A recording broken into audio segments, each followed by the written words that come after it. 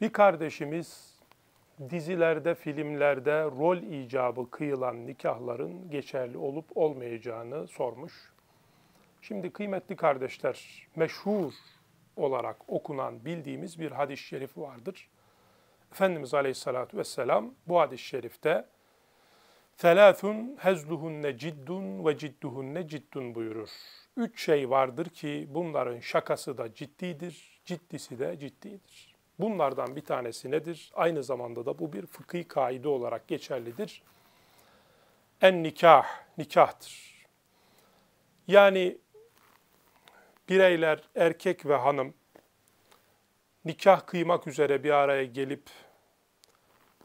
bu nikah akdini kabul ettikleri zaman bu kabul etmelerine mazi sigasıyla kabul ettim, diğeri de kabul ettim deyince bu evet de buna dahil ediliyor günümüzde muasır alimler tarafından örfi olarak ama yine mazi sigası kullanılmaya, geçmiş zaman kipi kullanılmasına dikkat edilmesi lazım. Her neyse bu ifadeler kullanıldığında, nikah kıyıldığında, iki şahit de duyduğunda bunun artık rol icabı olması, şakadan olması, göstermelik olmasına bakılmaz. Bu hadis-i şerifin ve fıkhi kaidenin de muktezasınca artık nikah geçerli olmuş olur.